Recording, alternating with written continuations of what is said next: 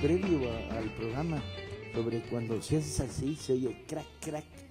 Pero Erra, que siempre está metiendo la pata, dice que la culpa es de la silla, pero por más que le muevo. Bien, esto es leer.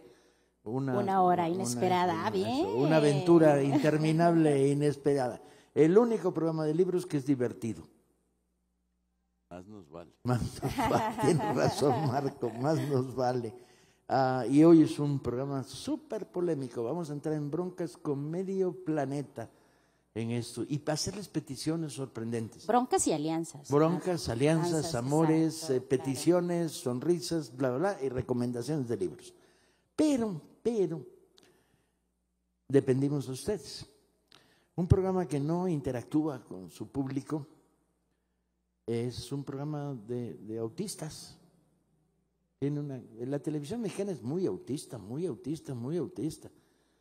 Lanza un monólogo, tú pasas enfrente, dices, no, no, no, normalmente no te gusta y le escupes a la tele, cosa que tengo prohibida en mi casa porque dicen que se niegan a limpiar el aparato de televisión de las escupidas que le hago habitualmente, pero no es para menos. Oyes acá ya cada tinguindín arrastra portafolios, hijos de María Morales, traidores, mentirosos, ah, desarrollando una televisión básicamente, la privada, de propaganda, de propaganda.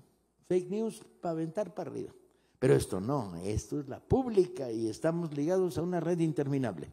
Exactamente, que espero que nos pongan por aquí nuestros compañeros de producción, pero les cuento, este programa está siendo transmitido en vivo en este momento en la librería Rosario Castellanos aquí en Tamaulipa 202 en la colonia Condesa, pero después ustedes lo pueden ver tal vez en Canal 22 los jueves que se retransmite o también en Canal 14 los domingos y en muchas otras televisoras a lo largo y ancho de la República Mexicana. Así que estamos obviamente también en nuestras redes sociales del Fondo de Cultura Económica y por supuesto de Capital 21. Así que conéctense, por favor, comenten lo que quieran, lo que deseen, como siempre, damos respuesta. Nunca será suficiente dar las gracias a la expansión real de las televisiones públicas que trabajan en zonas donde no llegan señal.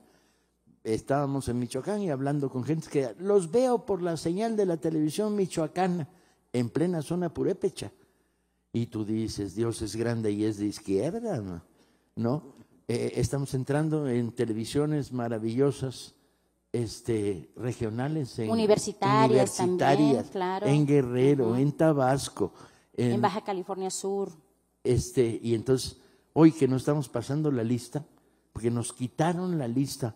No, tú nos quitaste la lista, chi, chi, chi. La lista para decir gracias, gracias, gracias a todos aquellos que nos permiten hablarle al país y no un pedazo del país. De cualquier manera, hacemos el esfuerzo para hablarle al país igualito que lo haríamos si estuviéramos hablando solos. No, no es cierto. Comuníquense, usen las redes del fondo y las redes del 21 para decir qué opinan, qué sienten, qué bla, bla, bla. Sasi está tomando notas y vamos recibiendo mensajes por los... Mira, ya llegaron. Eso, muy bien. ¿Quieres Vámonos. leerlos, Paco? No, no traigo lentes. A ver, eh, saludos de Tlanepantla, de Mérida, leyendo el libro de Armando Bartra sobre Carrillo Puerto, muy bien. Morelia, Saltillo, Puerto de Veracruz, Temixco, Yucatán y Montemorelos, Nuevo León. Ahí está, ahí está. Y na- nada más te ven, en tu casa te ven, no es cierto. Digo, sí, en mi casa, sí, más les vale, más les vale que estén viéndome ahora en mi casa. Pero esto es todo un experimento interesante. Y vamos a abrir ah, con una sonora queja, que es, estamos francamente indignados por lo que está pasando con una serie de figuras de la izquierda progresistas en Nicaragua, del viejo sandinismo, el que hizo la revolución, de los escritores que sostuvieron en los años 70 el pensamiento crítico del sandinismo, en particular en esta librería acogemos no solo al viejo cardenal, también sin duda acogemos a, a Sergio Ramírez y desde luego una de nuestras poetas favoritas, Con Dabeli. Sí, con Yoconda. Pero no solo ellos. Ah, el Che Guevara dijo un día muy bueno, las ideas se combaten con ideas. Y estamos muy, muy, muy, muy, muy descontentos y expresamos públicamente nuestra opinión contra un fenómeno esencialmente represivo generado en Nicaragua. Desde aquí nuestra más amplia saludo y solidaridad a los perseguidos, reprimidos, este, que quieren que sus voces se callen y nunca lo van a lograr. La represión y la censura tienen un efecto de boomerang. Tú avientes el boomerang y luego regresa y te rompe el hocico. Ah, es un invento australiano para romperle el hocico a los que andan tirando palos. Este, así la cosa, un saludo desde aquí. Por aquí están sus libros. Sí. Oh, sí. Sin censura. El de Ernesto Cardenal, qué librazo. ¿eh? El libro que Canto publicamos México, de Cardenal, claro. El Canto a México. Estuvo aquí, ¿no? En Que la aquí se presentó, justo, ahí arriba. Sí, arriba. Todavía. Exacto. Ahí- ahí está el de Yoconda también tenemos. Y vamos a cambiar de tema porque no, no- nunca, nunca llorar demasiado es bueno. Protestar, quejarse, asumir solidaridad, sin duda sí. Pero necesitamos su ayuda. Ahí les va. Padres, madres y hijos mayores de las clases medias de este país, necesitamos que nos echen una mano de veras, paren la oreja. Si ustedes están dentro de estas categorías, urbanos, ah, clases medias, aunque no se reconozcan como tal y piensen que son burgueses en ascenso, no importa. Este, necesitamos su ayuda. Tenemos un problema gravísimo de distribución gratuita a comunidades, básicamente en esas dos, aunque ya la hemos hecho en Veracruz, lo hemos hecho en Sonora, pero necesitamos ahora en Oaxaca y en las comunidades periféricas del Valle de México. ¿Qué es? Ahí les va.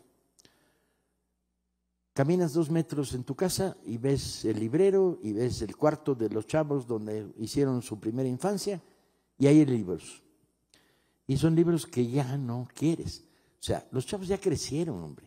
Ni modo que tengan Toñito el pastelero y su hermana este, ahí guardado porque era el que más les gustaba. No, ya, ya no lo van a volver a leer. Necesitamos libros para primera infancia, usados. no son libros para primera infancia, de 0 a 4 años más o Son menos. libros para bebés que empiezan a ojear, de esos libros que son tácti- táctiles, tocas, muerdes, bla, bla. Primero. Segundo, necesitamos libros de primera lectura que puedas leer en prepri, en preprimaria o en jardín de niños. Y luego necesitamos libros que sean de lectura para primero y segundo de primaria. Primera infancia. Agarra, le pides permiso a tu hijo, te voy a saquear tus libros ya deja de llorar, este, y, y- y échame una mano, abres una caja, los echas en la caja y nos los mandas. ¿Qué vamos a hacer? Vamos a estar durante un mes recogiendo libros en, son, creo En que son cuatro- ocho, librerías ocho librerías. que serían nuestros centros de acopio. Sí. ¿sí? Y de ahí los concentramos y los enviamos a las comunidades. ¿Qué necesitamos? Necesitamos miles de libros de primera infancia. Los libros que producimos nosotros son muy caros, son escasos y, y no tenemos una estructura que nos permita hacer grandes donaciones de estos libros. Necesitamos el apoyo de la sociedad civil. Compañeros, en este país hay dos cosas que funcionan. La sociedad, la de veras, la solidaria, la que apoya uno a otro, ¿sí? Y, y la estructura del Fondo de Cultura para redistribuir a la carretera de Oaxaca, Pochutla, kilómetro 37, subiendo la brecha 4 kilómetros. Bueno, ahí hay dos ah, jardines de niños en esa zona. Ya les dijimos, nomás tienen que bajar al kilómetro 37, no frieguen de tenernos hacer subir al lomo por la carretera ah, de Pochutla, pero ahí, hasta ahí van a llegar. Vamos a tener entonces una red de distribución que les va a explicar Sandra.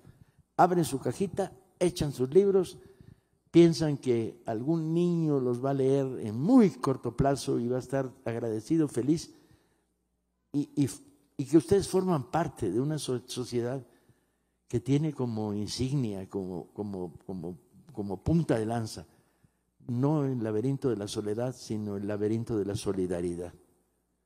Ah, Sandra, cuéntales Las cómo. librerías, las librerías que van a ser centro de acopio O son. sea, a esas las llevan en horario de librería y dicen, esto es para el programa de regalo de libros de primera infancia. Así que anoten, por favor, la librería ex convento de Santo Domingo en Oaxaca, la que acabamos de La Ricardo. Flores Magón, Exactamente. La librería Carmen en Puebla, la librería José, la librería Carmen en Puebla, eh, que que está, está en Avenida 6 Oriente, 203, en el centro.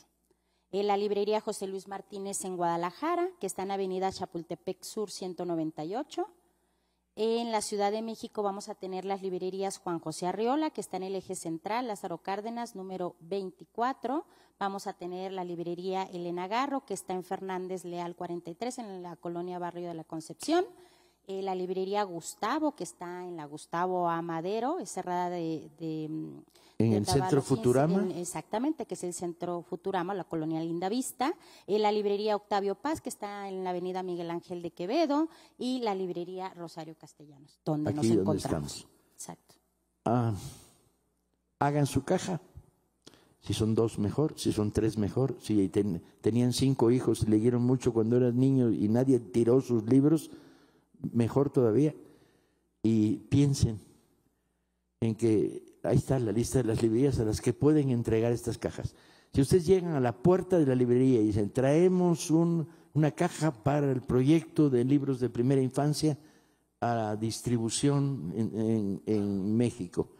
Los compañeros de la librería con gusto salen a la calle, recogen su caja y se toman una foto, porque queremos que esto sea registrado. Marco. Que veía yo a Ezra que estaba diciendo, no, no, no, no, no, ya entendí por qué, porque no es la del Teatro Alcalá, eh, digo, este, es la, la del ex convento la que está Ah. abierta, nada más es una aclaración sí. para que Cierto. no vayan a ir a llevarlo a donde no. Va. Tengan Va. por seguro que nadie se va a robar uno de esos libros, que nadie va a vender uno de esos libros, que no va a haber negocio ni, ni- ni ánimo de trueque, que va a haber de las manos que los entregaron proceso de distribución. Y necesitamos miles de libros. Vamos a darles noticia en este programa de lo que va pasando a lo largo de las semanas. Si no alcanzaron a apuntar, eh, de todos modos ya nuestras redes sociales, eh, en Twitter, en Facebook, tal, ya está este cartelito con todas las direcciones y los horarios en los que ustedes pueden dejar ¿no? los libros. Anímense. Digo, gánenle 10 minutos a las rutinas del cotidiano. Yo sé que todo el mundo tiene que ir al dentista, no hay bronca. Pero del camino al dentista, seguro hay una librería del fondo donde pu- puedes llevar la caja. Yo sé que todo el mundo tiene que, hijos de la clase media, pasar por los supers y los mercados sobre ruedas y que todos tenemos manifestaciones de apoyo a línea a las que asistir.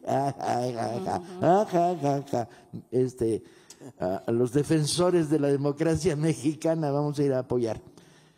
Pero dense un rato, ¿no?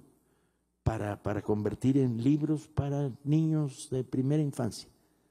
Y les vamos a dar razón de lo que pasa. Van a ver, Claro. van a ver los, no solo el momento en que ustedes se entregan, sino el momento en que allá se reciben las cajas de libros. Como pasó con las enciclopedias, ¿no, Paco? Qué respuesta tan maravillosa. Seis mil enciclopedias logramos canalizar hacia el estado Estamos seguros que ahora también tendremos esa o mejor respuesta todavía.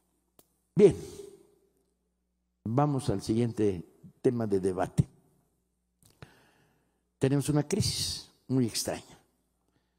En el agitado Perú de nuestros días, no solo el gobierno peruano expulsa a nuestro embajador ah, y nos hacen pintadas en la puerta de nuestra librería, las hordas conservadoras policíacas, sino que además se presentó una situación extraña, sorprendente, de la que Marco, nuestro coordinador internacional del Fondo de Cultura, les va a contar la, en detalle la historia. Bien, pues sí, eh, es una pena, pero hay que contarlo. Eh, cuando comenzó esta administración había dos librerías en Lima, en Perú, eh, a unas cuantas cuadras de distancia, una en una zona de joyerías y la otra en una zona semirroja. Eh, cerramos la de la semirroja y dejamos la de las joyerías y esa empezó a actuar. Pero de pronto resultó que la Universidad Nacional Mayor de San Marcos, que déjenme decirles que es la decana de las universidades de América Latina, nos convoca y comenzamos a trabajar un proyecto para abrir una librería ahí. ¿Qué sucede? Eh, con una inversión que hace el fondo, restauramos un local donde había una vieja librería que no, no funcionaba y logramos una librería maravillosa. Y a los días que la inauguramos, viene la pandemia. ¡Pum! Eh, tenemos que cerrar la, la, librería. Pero a la vez viene también un cambio en la universidad y cambian al rector con el que habíamos firmado ese convenio. El fondo firma un convenio con una universidad y resulta que con la nueva rectora pues no es suficiente. Pareciera que firmamos con las personas y no con las instituciones, y entonces de pronto nos piden que nos vayamos. Eh, pero nos dan 48 horas para desalojar 15 mil libros. ¿Y qué hacemos? ¿No? Más, más de 15 mil, ojalá fueran 15 mil. Uh, y habíamos invertido 54 mil dólares. 54 mil dólares en la remoción. y hay un convenio que dice que no pueden romperse parcialmente porque nos dejan flotando. Así es. Porque la otra librería chiquita que tenemos en Lima no puedes meterle en bodega ni mil libros. No, es una casita. Entonces, de repente tenemos una notificación, todo esto unido a las movilizaciones antipopulares y la represión policíaca y la expulsión de nuestro embajador, y entendemos que es un acto político contra el Fondo de Cultura y nuestra posición y nos dicen, váyanse. Y decimos, ni madre. Así es. Hay un convenio, ustedes lo tienen que respetar. Así es. Hay que respetarlo. Convocamos una mesa de diálogo. Eh, llamamos al Consejo Universitario, les pedimos que participen de ese diálogo. Nos dicen que no. Pero pues de pronto la, hasta la UNESCO interviene y ahorita estamos en una negociación en la que estamos pidiendo que sea la UNESCO nuestro mediador y decimos, eh, no nos vamos, no tenemos a dónde irlos. Y eh, ustedes, hay una inversión económica ahí del fondo que ustedes tienen que retribuir en caso que quieran que nos vayamos y con ese dinero entonces podemos alquilar una bodega o crear una nueva librería o uh, buscar una manera con otra universidad. Pero la situación convulsa en el Perú no ayuda mayormente a esta actitud autoritaria de tienen 24 horas para irse. Y nuestros muebles que hicimos y la decoración y 14 o 20 mil o 30 mil libros que tenemos, entonces se las vamos a dejar claras. Y lo más importante, los lectores, ¿no? Y las pues claro, porque el problema es que cerrar librerías es una actitud antilectora, no solo anti-institución. ¿Por qué, ¿Por qué convocamos al Consejo? Porque en el acuerdo está otorgarles facilidades a los trabajadores, a los estudiantes y a los maestros de la universidad. Ellos son unos beneficiarios de, de nuestra librería ahí. Ok, entonces hemos tomado algunas decisiones y queremos, haciéndolo público, dejarlas claras. La primera es, se abrieron las negociaciones. Hay una segunda ronda de negociaciones el día 28. 28 de, de este, este mes. ¿Qué mes estamos? Febrero. Febrero, todavía. No me hagan esas cosas. el 28 de febrero tenemos una segunda ronda de negociaciones. Vamos a sostener nuestra posición. Lamentablemente no nos puede asesorar la Embajada de México en, en Lima porque el embajador lo corrieron. Claro. Este, pero no importa. Y en caso que quede claro, y lo digo una sola vez, aunque me hagan gestos, en caso de que nos obliguen a sacar los libros, los vamos a sacar a la puerta de la librería y convocar al pueblo de Lima que pase a recogerlos. Bien. A todo el pueblo de Lima. Vengan y agarren 14 mil libros, llévenselos a su casa, no tienen que poner dinero, no tienen que poner una credencial, no más que léanlos durante el tiempo en que este contencioso siga y después nos los devuelven. Así es. Ah, porque ese sí es un garante. Ahí sí no tenemos miedo de lo que puede pasar si llegan ocho o nueve mil o diez mil lectores y se llevan los libros que estaban en la bodega. Así es. Y mientras tanto, convocamos a un pequeño corte y regresamos.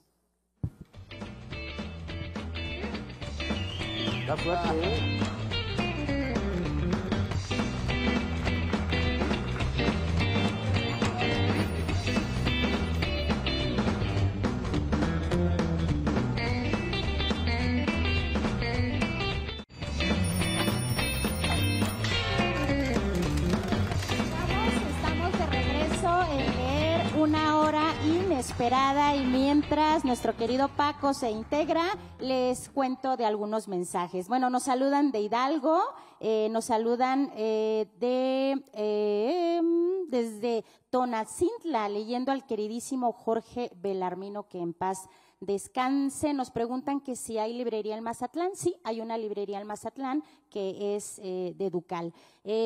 Paco, ¿es cierto que viviste en Etla número 24, donde vivió Francisco Tario? Paco, ahorita nos contesta.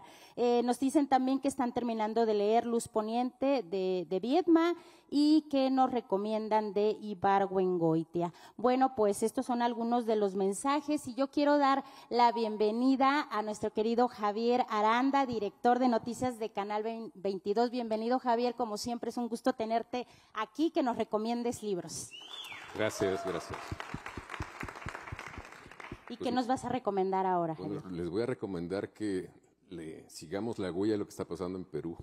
Empezando por ahí porque quien cierra librerías, quien cierra bibliotecas, quien quema libros, atenta no solamente contra algunos objetos o algunos o violenta algunos tratos o tratados, algunos convenios, sino atenta contra uno de los cogotes que es la democracia.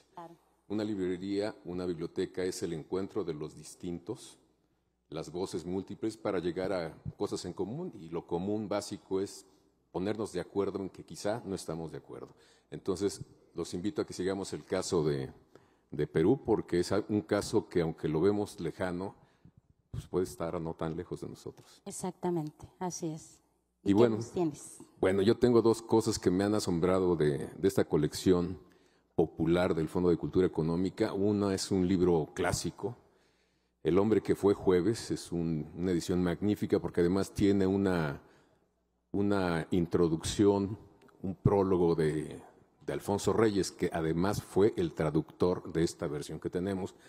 La prosa es muy, muy nítida, el humor clásico de Chesterton sigue transparente a través de la, de la traducción de Alfonso Reyes y volvemos a acercarnos a este pues, gran personaje que entre muchas cosas fue, pues hasta podríamos decir que un anarquista, porque fue católico, fue primero protestante, después católico, pero es un católico tan protestante que no lo parece, porque sigue cuestionando muchas cosas, y en esta novela, en es, sí es una novela finalmente, nos hace un, retrato, nos mete a la trama policíaca, digamos, de una conspiración, no solo contra las autoridades terrenales, sino algo más en serio, contra Dios.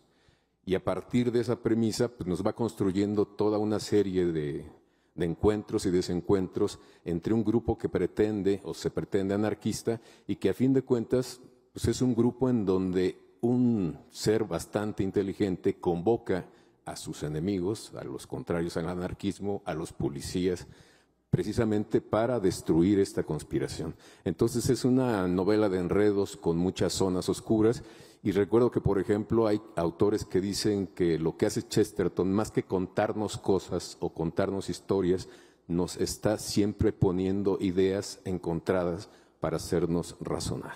Yo creo que es el caso de esta novela, es una novela que efectivamente transita muy bien, pero sí nos pone a pensar en cosas bastante comunes, porque una de las características de Chesterton es bajarse la vida a la vida menuda para hacernos cuestiones o ponernos a cuestionar sobre cosas trascendentes, sobre el compromiso político, sobre las ideas, por ejemplo, de la religión, de, la gana de cambiar al mundo, cuando no se tienen, digamos, todos los elementos para hacerlo y simplemente se va dando uno de trompicones por aquí o por allá. Esto con una zona de humor realmente deliciosa que en esta traducción, pues a mí me parece fantástica. Y el otro libro que les quiero comentar, y si quieren comentarme algunas cosas a propósito de cualquiera, pues estoy abierto a esto, es El reportero vertiginoso, que tiene que ver con la prosa de Chesterton, porque tanto Chesterton como este autor, que yo no conocía, Egon Erwin Kish, tocan tierra porque los dos son periodistas o hacen periodismo.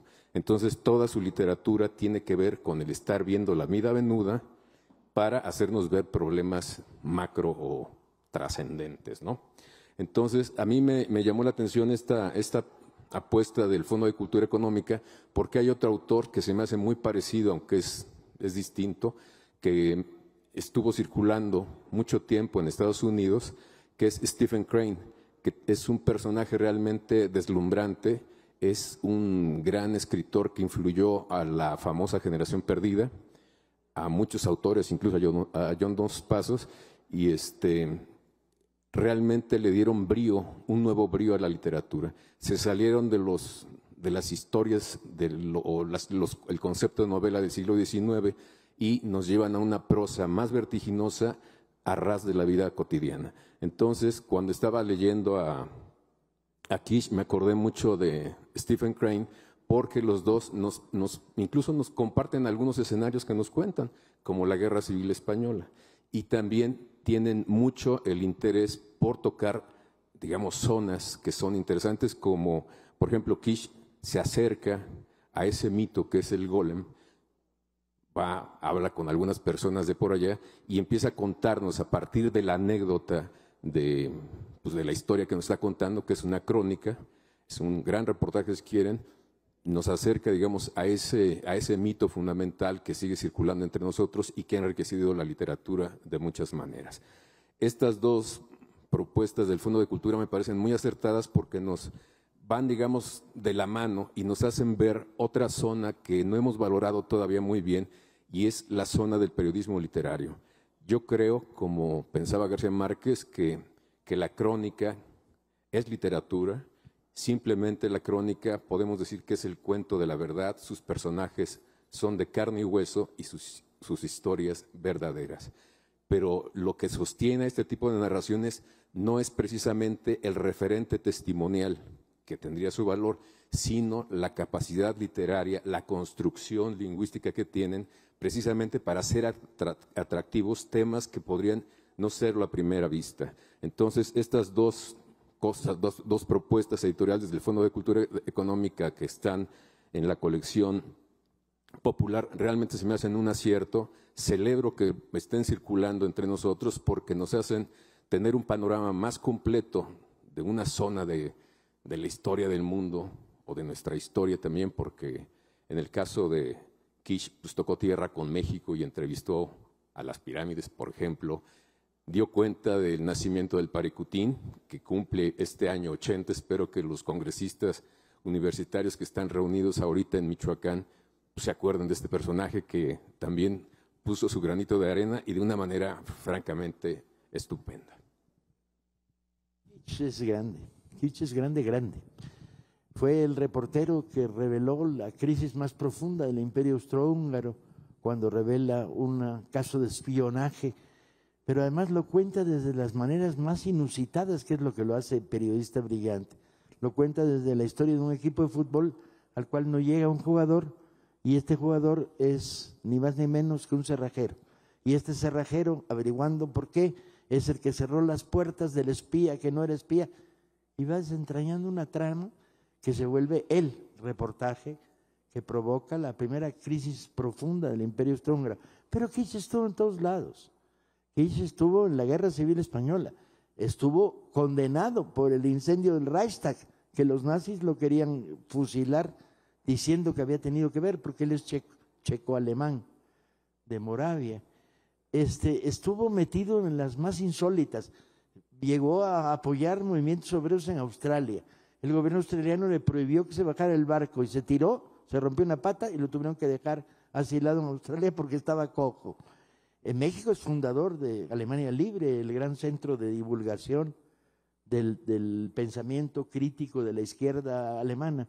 Yo creo que junto con lo que hemos publicado de, de John Rey, lo que hemos publicado de Larisa Reiner, que la otra gran olvidada del nuevo periodismo creado en principios del siglo XX, y, el gran jefe, que es el, padre de, no tanto de Kish como de, ni de Larisa, pero sí de John Reed, que es Carbón, de Upton Sinclair, ah, empieza a crearse un panorama de que el nuevo periodismo no nace con la generación de nuevos periodistas norteamericanos de los 60 y que llega a su mejor momento con Kapuscinski y, compañía, sino tiene unas raíces profundas en la que, como decía Javier, puedes leer como si fuera literatura, lo que es la literatura de la realidad inmediata. Yo creo que está bien que hayamos traído, del, sacado del closet a Egon Egon Kish. ¿Por qué crees que no lo hemos visto, no lo habíamos visto antes? Porque es un gran escritor, ¿eh? Sí. está, bueno, pues estaba de ladito hasta que ustedes lo rescataron. Porque era muy rojo. Operó el mecanismo de la censura política contra la generación de los exilados alemanes. Ana Segres tardamos 30 años en volverla a publicar. Uh, Kish, nada. Udo, Bus, no, Udo Busen, ¿eh? Walraff, sí pero hubo los la generación que vino a México en los años 40 durante la Guerra Mundial y que produjeron en México, estaban todos ah, ignorados. El único que trasciende es Bertolt Brecht, pues ya hubiera sido demasiado que trataran de parar el y poder. Y aún así lo ven de lado, ¿eh? Yo recuerdo, por ejemplo, Octavio Paz no lo, no lo aceptaba mucho. No, no lo quería para nada. Octavio Paz era muy reaccionario y Brecht no. Javier, muchas gracias por acompañarnos. Te volvemos a invitar, ¿no? Porque tienes por ahí varias, varias lecturas que nos ofreciste. Bueno, tienen varias cosas ustedes interesantes. Gracias. Y no solo, para que además sigas este debate que se va a abrir sobre el IMAM. Yo creo que es bien importante. Bien importante. Porque puede ser un espejo para otras zonas de, varias partes. Muchas gracias, por estar con nosotros. Vamos a una cápsula del Capitán Tormenta con Dana. Ahí, les va, porque tiene historia la cápsula. Tiene historia. No me hagas gestos, tiene historia. Dana es nuestra nueva adquisición. Y la van a ver. Y si no se sorprenden tanto que como yo me sorprendí cuando la invitamos a participar en este programa, luego ustedes dirán, va para adelante, Dana. Gracias, Javier.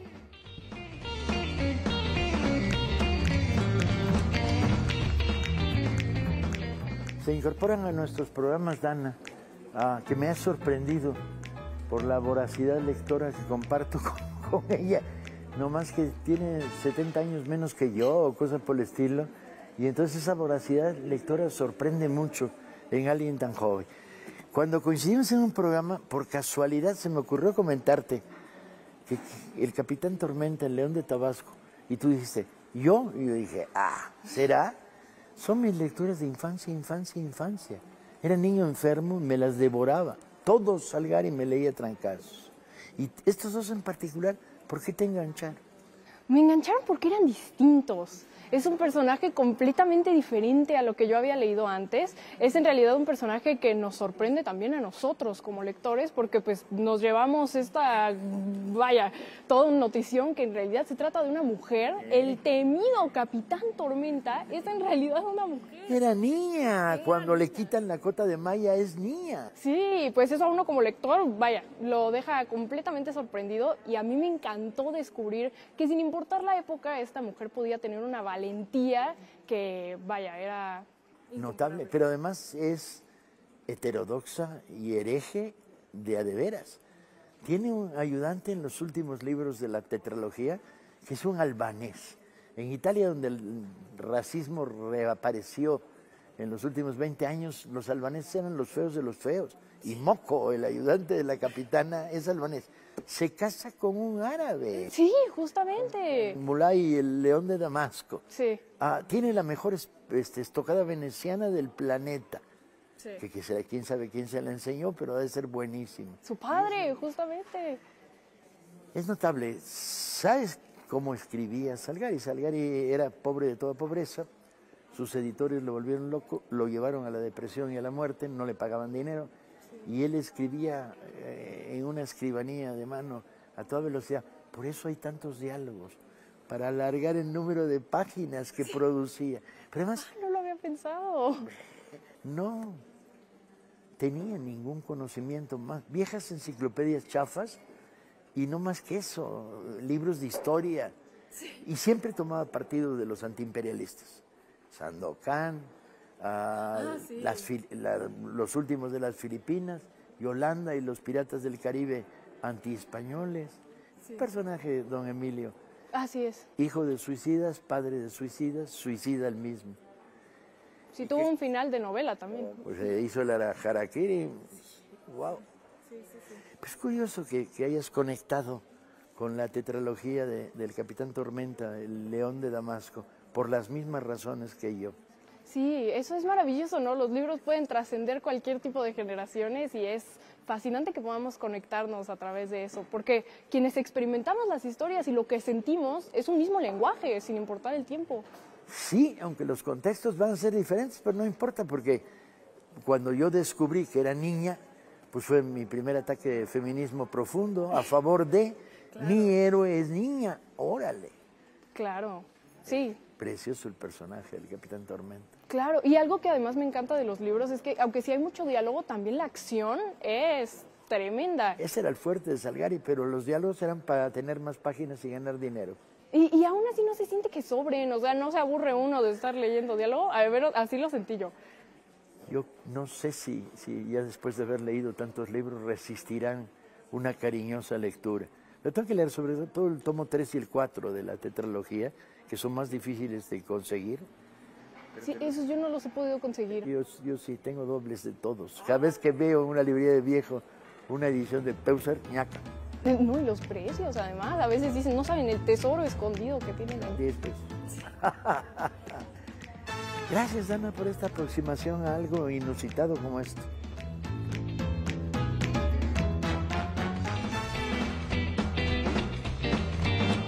Qué divertida entrevista, de verdad, ¿no, Antonio? Con, con Dana y pues esperemos tenerla aquí próximamente con más reseñas de los eh, libros. Nos preguntaba el auditorio por los libros, ¿dónde se pueden conseguir? Se pueden conseguir en toda la red de librerías de Fondo de Cultura Económica Educal, en todas las librerías privadas a 95 y 99 pesos respectivamente. Chesterton 95 eh, y el otro título 99. Exactamente. Pues regresamos, tenemos un corte aquí en Leer una hora inesperada. Le recordamos que estamos transmitiendo desde la librería Rosario Castellanos en la Ciudad de México. Regresamos.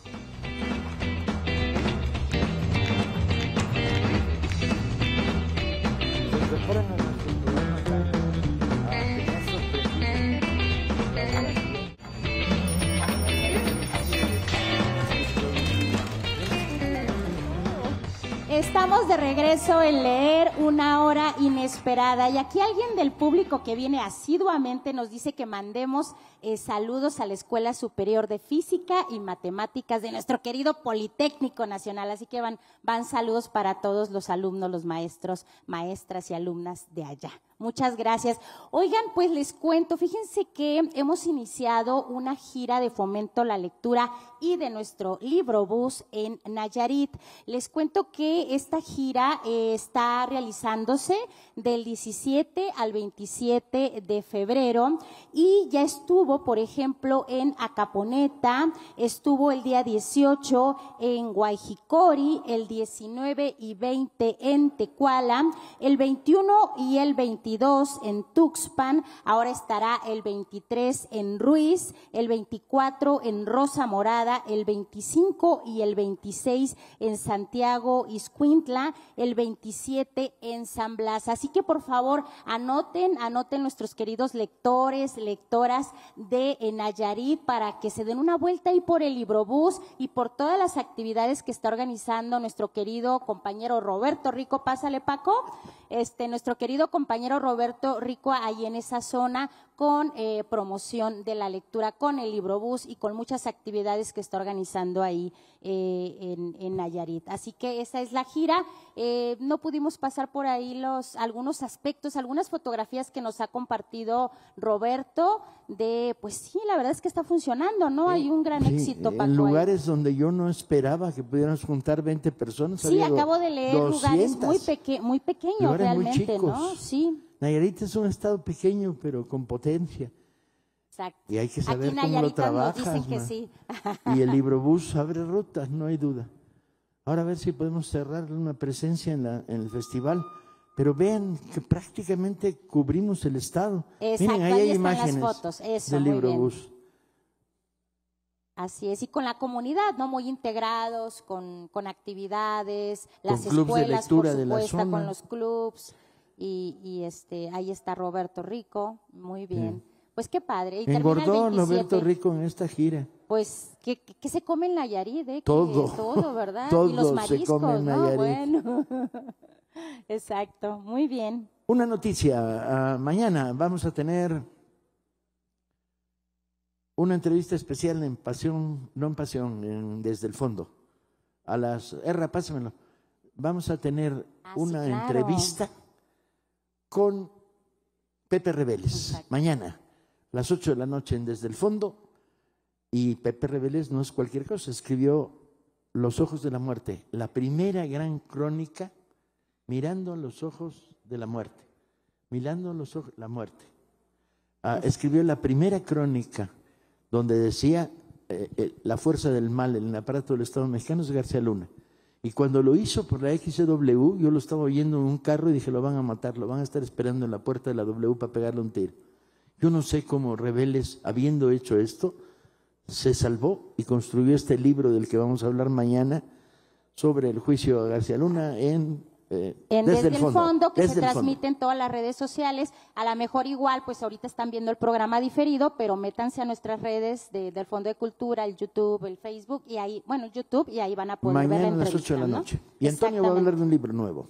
Sí, eh, estamos muy contentos en el Fondo de Cultura Económica porque reeditamos un libro que estaba eh, escondido, son los libros de los cuentos reunidos de Adela Fernández. Adela Fernández eh, tenía una eh, idea de publicar en editoriales que no le daban, digamos, los reflectores, pero ella estaba convencida y era muy fiel a sus editores. Con el tiempo, pues esto no fue muy bueno porque los libros quedaron, este, eh, pues quedaron en, las redes de las librerías de, de viejo y lo que hemos visto es que los libros que se venden a través de, las plataformas digitales están carísimos. Los, libros de Adela que sobreviven, los muy escasos, cuestan arriba de mil pesos. Entonces, estamos muy contentos porque gracias al esfuerzo de nuestros editores, reunimos estos, estos, estos, eh, estos cuentos en este libro que se titula Cuentos Reunidos, que básicamente eh, es, una eh, recopilación de dos, de dos volúmenes.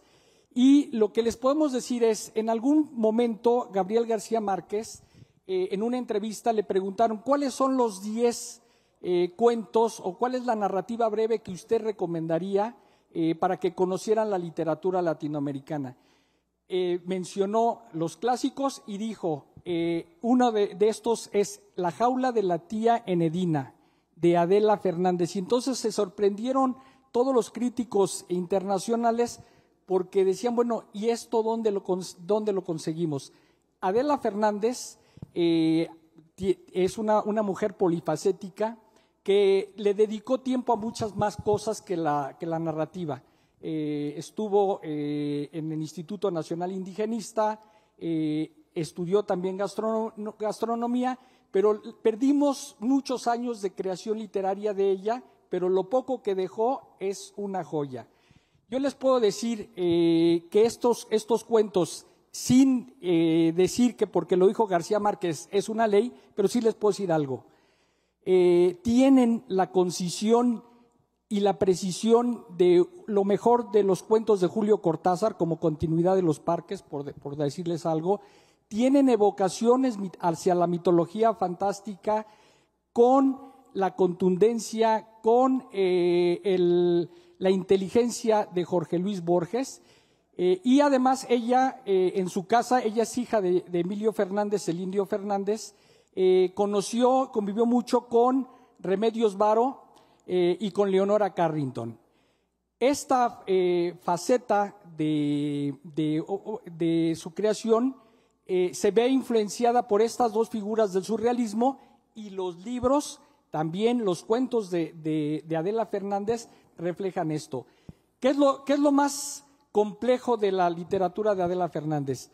Adela Fernández en, estos, en estos, cuentos eh, nos lleva a seres fantásticos en el sentido de que son seres imaginarios como es el surrealismo, pero tienen un ingrediente trágico y la tragedia es que no son seres de la mitología.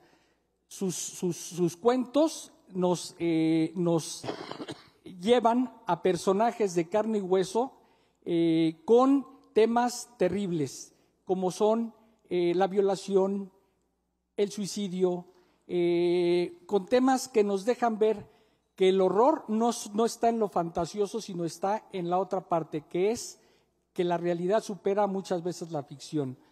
Tiene además una, espléndida pluma porque empieza siempre sus cuentos con un ambiente armónico, una atmósfera que nos envuelve y al final termina con, eh, pues con estos con estas, eh, corolarios de tragedia eh, y de no entendimiento. Pero insisto, es una literatura que a pesar de, de tocar temas muy complejos, eh, me parece que están narrados como las grandes, como las grandes plumas de la, de la narrativa, no solo mexicana, sino latinoamericana. Entonces les recomendamos mucho Cuentos Reunidos. ¿Sabemos cuánto cuesta?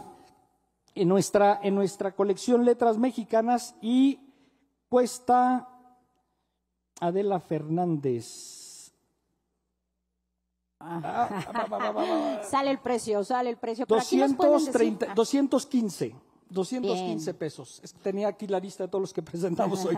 215 pesos. Eh, no se lo pierdan. Tiene un ingrediente eh, complicado y es que Adela Fernández eh, sufrió mucho el autoritarismo de su papá, el indio Fernández, y se nota en, esta, en estos libros. Yo la conocí por eso. Mi padre escribió un libro sobre el indio Fernández y conocimos a Adela y Adela decía que algo le deseaba a la gente no haber tenido un padre así. Terrible, eh, terrible. Y, para mí fue un descubrimiento. Muy bien. Vámonos. estuvimos en rápidamente, ah, estuvimos en Texcoco. La verdad, un exitazo. Nuestros compañeros amigos de la Brigada para Leer en Libertad, como siempre, ya apostando a estar en los lugares, ¿no? Que pensaríamos recónditos y tal. Pero bueno, muchísimos lectores, eh, muchísimas lectoras. Eh, tuvimos autores como Bernardo Fernández, a dos autores de Tierra Adentro, Xochitl Lagunes e Irán de la Peña. Eh, también una charla, eh, tuvimos autora, una autora infantil, así que muy bien, muy bien Texcoco, la verdad que ya finalizó, pues esperemos que hayan disfrutado nuestros amigos de por allá. Bueno, una noticia bomba, no vamos a estar en minería, compañeros. a la pregunta que nos han hecho frecuentemente durante estas últimas semanas, ¿va a estar el fondo en minería como todos los años? No, no vamos a estar. Y que quede claro, el conflicto no es con la universidad. El conflicto es con la lógica de la feria de minería que nos parece insoportable. Y hablamos claro. Resulta que cuando nos proponen que vayamos a minería hace tres meses o cuatro, ah, nos dicen, y les va a costar tanto el stand para poner sus libros. Vemos los números y resulta que es el stand más caro que hay en una feria en México. Y tú dices, espérame, la política del fondo es bajar el precio de los libros. Si me cuesta X dinero, ¿cuánto era, Antonio? Bueno, es el doble del precio más alto en metros cuadrados, que el, precio más alto es la Feria de Guadalajara, que son 4.200 pesos por metro, cuadrado. Y minería está cobrando 11.250. Y les dijimos, ¿saben qué? Vayan y récenle a Rico MacPato. Están locos. Porque si para nosotros nuestra política fundamental es bajar de los 100 pesos en la popular, vender vientos del pueblo, bajar de los 200 o rondar los 200, este, no podemos. Entonces, no, vamos a ir a minería. Y que quede claro, estamos colaborando con la universidad en 100 otras maneras, pero ah, no, no, no nos parece coherente la posición de una feria de libros universitaria que tendría que estar dándole salida al libro barato y a la promoción de la lectura. Por lo tanto... Decir, Paco, que vamos a estar justo... Vamos a estar al lado. A un lado. Vamos Porque a somos malignos. Vamos a hacer un tendido de libros en el Palacio Postal que está en Tacuba 1 y vamos a, iniciarlo el viernes 23 de, febrero eh, y, cerramos momentáneamente el 26, el domingo. pero, pero volvemos a abrir al otro fin de semana del 3 al 5 de marzo. Ah, todos aquellos neoliberales que están a favor de la libre competencia, pues órale que aguanten la vara, ¿no? Vamos a ir con vientos del pueblo a 20 pesos, a 11 pesos, a 15 pesos al, maravilloso, maravilloso Palacio de Correos. El Palacio Postal. El, ah. domingo 26, Paco, vas a, dar una charla sobre Guillermo Prieto y el día que en México no había sellos. Guillermo Prieto Eso me llama mucho la atención. El domingo a las 12 horas. Es verdad, Guillermo Prieto fue ministro de Comunicaciones y, y ese palacio era su palacio. No más que cuando llegó no había dinero para sellos ni para pagarle a los carteros y por lo tanto el correo en México estuvo paralizado más allá de la buena voluntad. Y voy a contar la historia de cuando Guillermo Prieto se subía a la ventana para contar la batalla de Puebla. Pero, pero Paco, yo lo, que sí creo que debemos eh, somos apuntar. Somos no, no, yo, sí quisiera apuntar somos malignos, Antonio. Tenemos una alianza de raíz, una alianza histórica con la UNAM. Fui, acabamos de ir a la Feria Internacional del Libro de La Habana representando a la UNAM. Eh, eh, participamos en la Feria Universitaria del Libro, la que hacen en Ciudad Universitaria las autoridades universitarias. Estamos la fiesta del libro y la rosa. Eh, vamos a la fiesta del libro y la rosa. Estamos llevando libros muy económicos a todos los este, puntos de, de, encuentro estudiantil, a las facultades, a, la, a, la, FES. Sí. Pero no vamos a pagar 11 mil pesos el metro cuadrado. ojo, además le damos el 50%, no, perdón, el 40% a los estudiantes universitarios de escasos recursos que lo acreditan. Entonces, uno. No es nosotros nosotros compañeros tenemos una alianza estratégica con la bronca que quede claro. El fondo no entra en conflicto con la universidad y sí entra en conflicto con la lógica perversa de minería. Entonces vamos a estar al lado. Y ya nos vamos. Nomás les informamos. Y esto fue leer una Esto fue leer una polémica ahora. ¿Cuántas polémicas? Tres, cuatro.